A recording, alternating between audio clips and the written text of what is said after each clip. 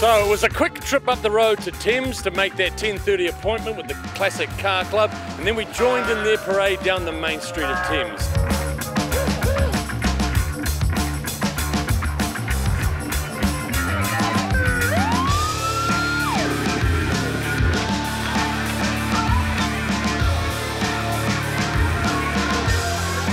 And what better way to finish a lunch stop, in fact, the bash with a water fight.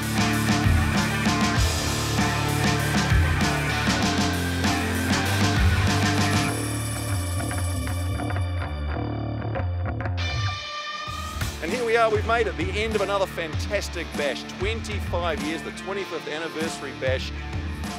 What a milestone. What an absolute milestone. It's been brilliant. Behind me, all the groups, all the teams, and the visitors too. And of course, the children. This is what it's always all been about. Making it fun for the kids. If you want to be part of the bash, you've seen it go past, really, just get in touch. It's an experience I can promise you, you'll never forget.